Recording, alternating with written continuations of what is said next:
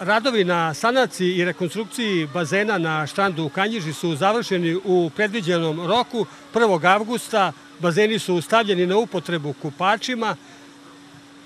Oni će se koristiti prema posebnom e, kućnom redu. Otvoreni su besplatno u ovoj sezoni e, za kupače radnim danom od ponedeljka do petka od 10 do 18 sati, a subotom i nedeljom od 9 do 19 sati. E, ja mislim da jako puno znači e, i za građane i za, i za decu. E, ja jako se zahvaljujem građanima da su bili strpljivi i mogli su da sačekaju dok završimo ove vrste rekonstrukcije i dogradnje, jer bukvalno imamo jedan treći bazen koji je povezan sa toboganom. Znači još dodatne turističke detalje smo ugradili u ovaj bazen. Naravno, sad smo u sredini letnje sezone, ali nadam se da će lepo vreme još trajati, pa će građani i naravno deca e, što više e, moći da koriste ove e, sadržaje, naravno besplatno ove godine. Imaćemo kućni red i imamo ove ograde pored bazena, ali to je zahtevno da bi sve moglo da normalno funkcioniše. Dobit ćemo podršku od Crvenog krsta i od sportskih organizacija da svako e, osjeća bezbedno kad koristi ovaj bazen i da roditelji e, budu sigurni da svoja deca su u bezbednim rukama.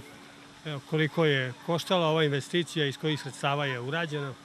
E, investicija e, po tenderu košta 16,5 miliona dinara, ali naravno, pošto e, završetak radova je sad u ovim danima završen, nismo još podvukli crtu koliko je to u stvari koštao. Ovo je maksimalni iznos, znači ne može više da košta, ali saznaćemo to za nekoliko dana i naravno ova sredstva su bila obezbeđena iz sredstva budžeta, jer nažalost u proteklih 20 godina niko ništa nije uložio u ovu infrastrukturu, jednostavno jednostavno nismo mogli dalje da čekamo e, i da još e, trošimo nekoliko godina i, e, i da ne obezbedimo ove vrste sadržaje kanjižanina i uošteno turistima koji dolaze u opštinu Kanjiža. Šta je naredni korak u ulaganjima da se poboljša i unapredi ponuda na štrandu?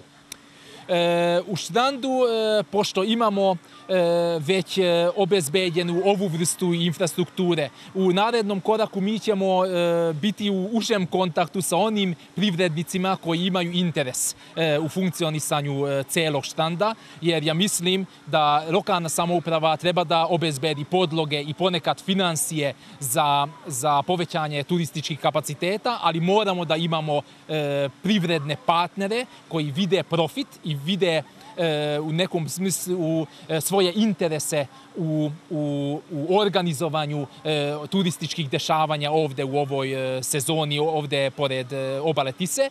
I mi ćemo posle završetka ove sezone cesti i detaljno izraditi plan da u narednih dve, tri godine kako i u šta ćemo ulagati ovde na obale Tise.